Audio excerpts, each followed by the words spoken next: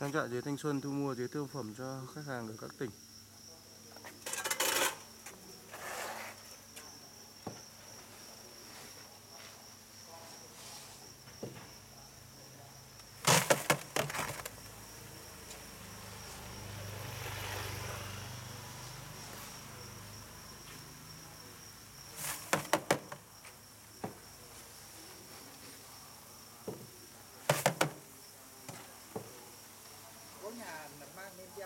Này!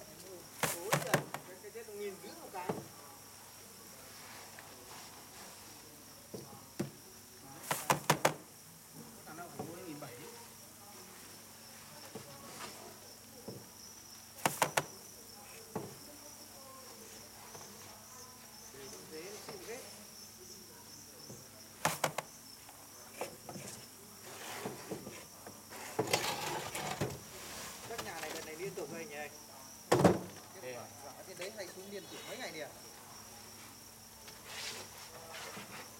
không xuống rồi đã xuống là xuống.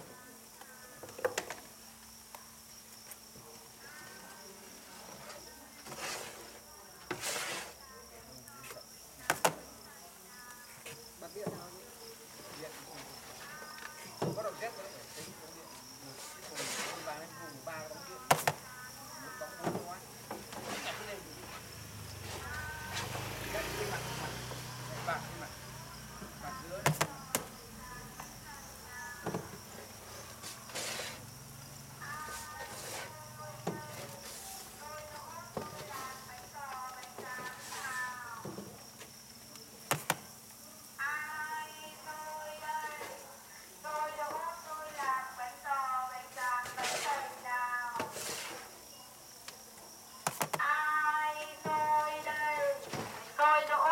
là bánh